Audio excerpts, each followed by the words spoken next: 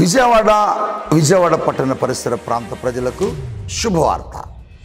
Paul Prithvi ministries సారథ్యంలో పరిశుద్ధాత్మ తైలాభిషేక స్వస్థత ఆరాధన.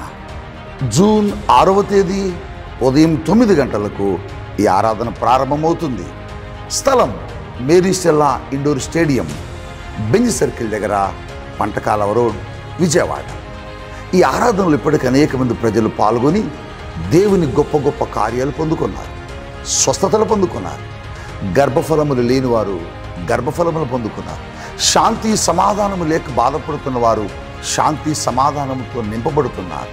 చీకటాత్మలతోనూ రోగములతో పీడించబడుతున్న అనేక మంది వ్యక్తులు ఈ ఆరాధనలో పాల్గొని అద్భుతాలు పొందుకున్నారు. మరి మీరెందుకు ఆలస్యం చేస్తున్నారు? రండి జూన్ ఆరవ తేదీ ఉదయం తొమ్మిది గంటలకు అద్భుతాలు పొందుకున్నట్టు కొరకు మిమ్మల్ని ఆహ్వానిస్తున్నాం. ఖమ్మం మరియు పరిసర ప్రాంత ప్రజలకు శుభవార్త. కల్వరి మార్గం పాల్పృథ్వీ మినిస్ట్రీస్ వారు నిర్వహించు పరిశుద్ధాత్మ తైలాభిషేక ఆరాధన.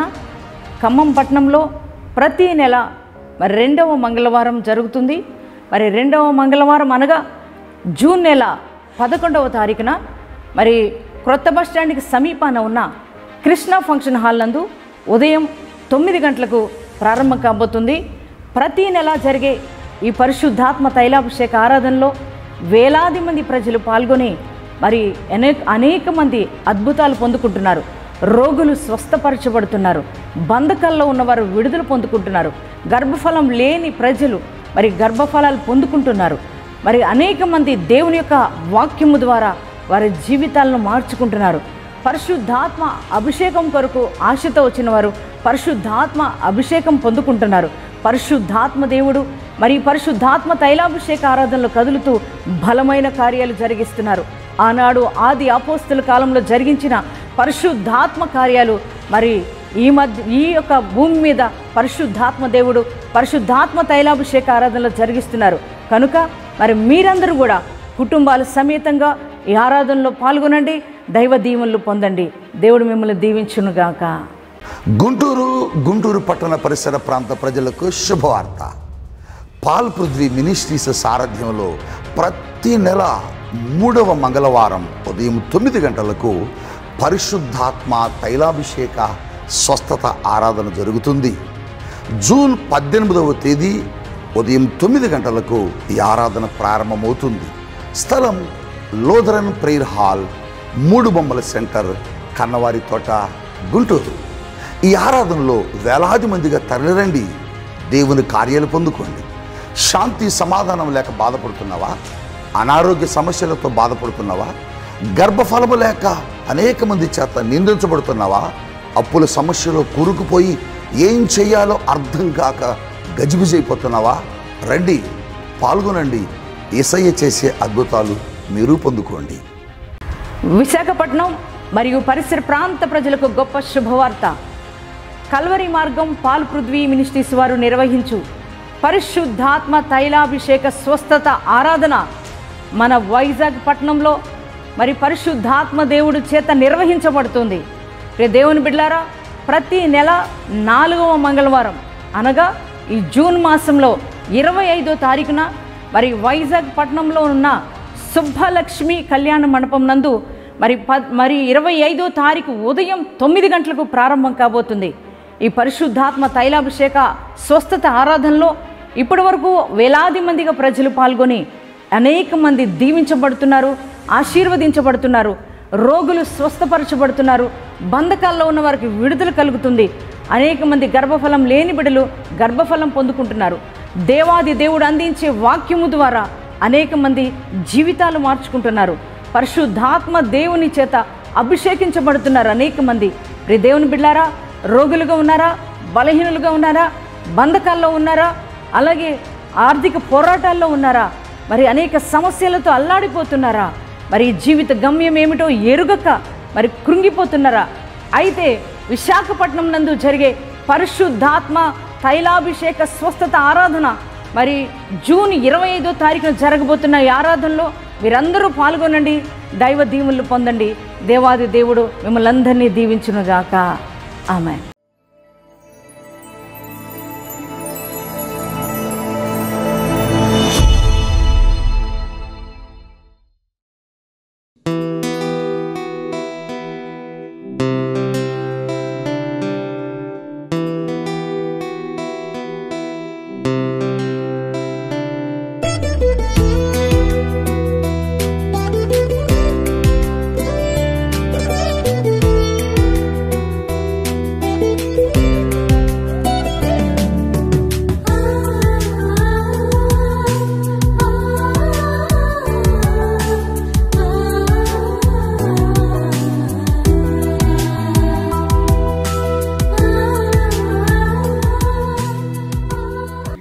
క్రీస్తు ప్రతిదినం అనే ఆధ్యాత్మిక కార్యక్రమానికి మిమ్మల్ని అందరినీ ప్రేమతో ఆహ్వానిస్తూ మీ అందరికీ నా హృదయపూర్వక వందనాలు తెలియజేస్తున్నాను.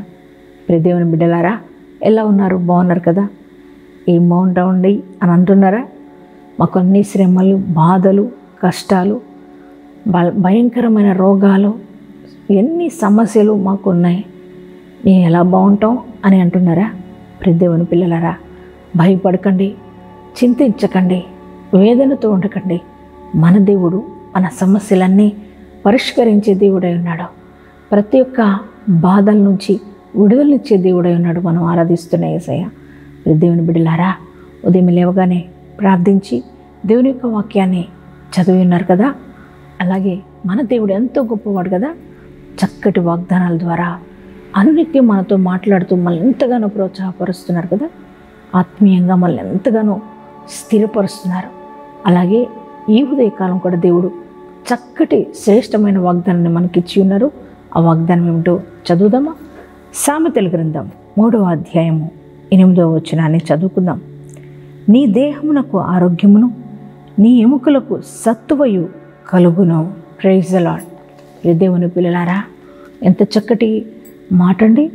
నీ దేహమునకు ఆరోగ్యమును నీ ఎముకలకు సత్తువను కలుగుతుందని దేవుడి ఉదయకాలం అనందరితో మాట్లాడుతున్నారు. ప్రియ దేవుని బిడ్డ ఈ వాగ్దానం చూస్తున్న మీ యొక్క దేహంలో ఆరోగ్యాన్ని కోల్పోయి ఉన్నారా?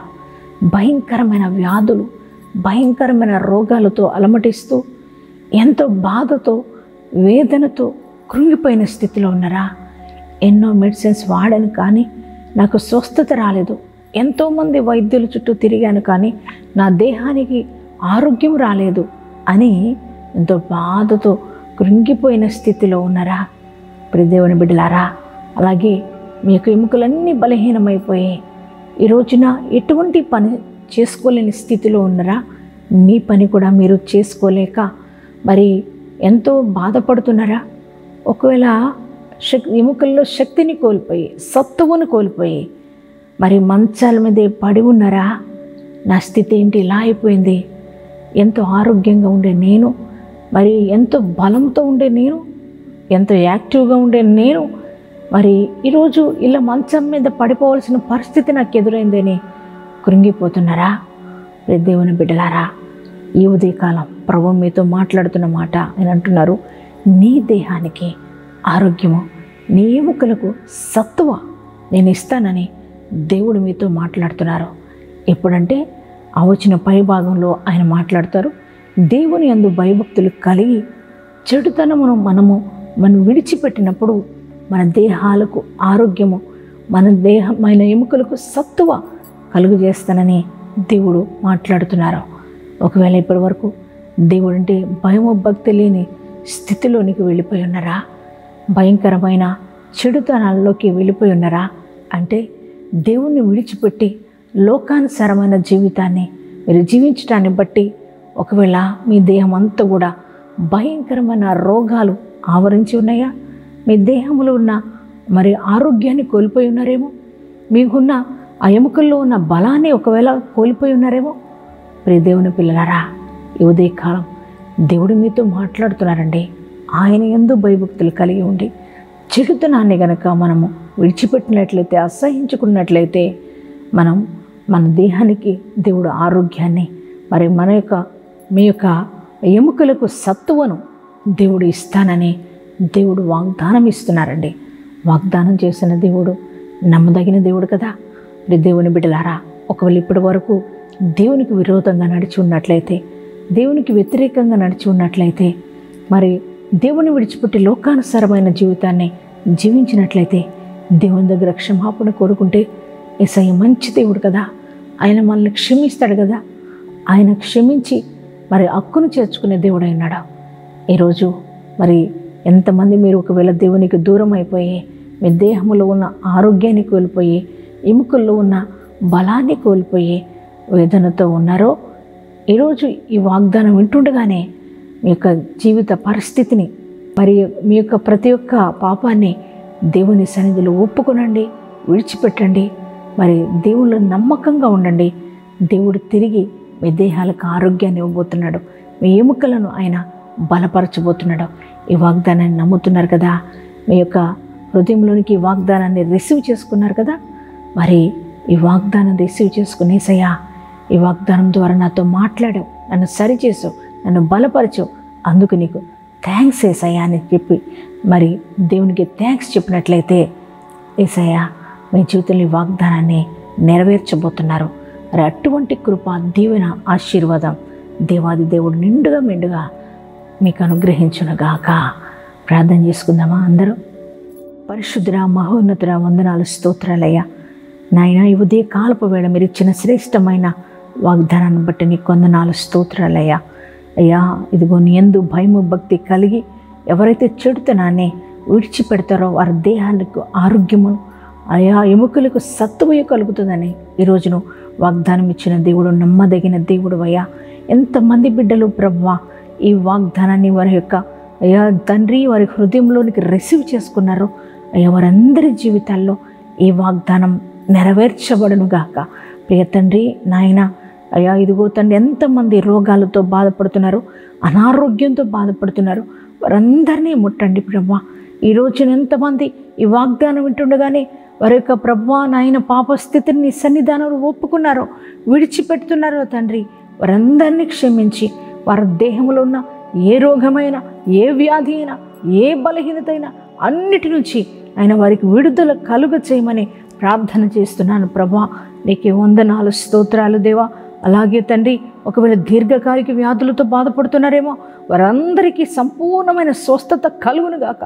క్యాన్సర్ అయినా హెచ్ఐవి అయినా ప్రవ్వా ఏదైనా కూడా ఏసు నామములో వారి దేహములు విడిచి వెళ్ళిపోవును గాక. తండ్రి నీకే స్తోత్రాలు చెల్లిస్తున్నాం ప్రభా. అయా ఇదిగొని ప్రార్థిస్తుండగానే వారి దేహాలను ముట్టండి ప్రభా. నడినెత్తి మొదలుకొని అరికాలి వరకు వారిని తాకండి ప్రభా. ఇంకెటువంటి రోగాలు వారి శరీరంలో ఉండటానికి వీల్లేదు. ఎటువంటి వ్యాధులు వారి శరీరంలో ఉండటానికి వీల్లేదు ప్రభా. అయా సంపూర్ణమైన స్వస్థత వారికి కలుగునుగాక. ఒకవేళ ఎముకలన్నీ బలహీనమైపోయి ఉన్నారేమో తండ్రి నడవలేని స్థితిలో కూర్చోలేని స్థితిలో అయ్యా వారి పనులు చేసుకోలేని స్థితిలో వారు ఉండినట్లయితే ప్రభా వారి ఎముకల్ని ఇప్పుడు మీరు బలపరచండి నాయన. నీ సిలువ రక్త ప్రోక్షణ వారి దేహంలోనికి ప్రోక్షింప చేసి వారి ఎముకల్లోనికి నీ బలాన్ని పంపి తండ్రి. నూతనమైన బలంతో వారు నింపమని ప్రార్థిస్తున్నాను ప్రభా. దేవానికి స్తోత్రాలు తండ్రి. వారు నాయన ప్రభా నాయన నీ బలాన్ని పొందుకొని వారు తిరిగి లేచి నడవాలి అయ్యా వారి పనులు వారు చేసుకోవాలి ప్రభు. ఆరోగ్యంతో నింపబడాలి ప్రభా. అట్టి కృప వారికి దయచేయమని ప్రార్థిస్తున్నాం ప్రభా. అలాగే నా తండ్రి ప్రభా ఏసయ్య ఈరోజు మ్యారేజ్ డేస్ బర్త్డేస్ చేసుకుంటున్న ప్రతి ఒక్కరి జీవితాన్ని ఆశీర్వదించండి. వారి నూతనమైన బలముతో నూతనమైన దీవెనలతో నూతనమైన ఆశీర్వాదాలతో వారు నింపండి. నూతనమైన ఆత్మీయ అనుభవంలోనికి వారు నడిపించమని ప్రార్థిస్తున్నాం ప్రభా. అలాగే ప్రభా ఈ దినమంతని ప్రశస్తమైన సన్నిధి మా అందరితో ఉంచి నడిపించమని ఏసునామంలో ప్రార్థన చేస్తున్నాం తండ్రి. ఆమెన్. అనుదినము నా ప్రాణము నిన్ను కోరే యేసయ్యా నన్ను చేరయ్యా.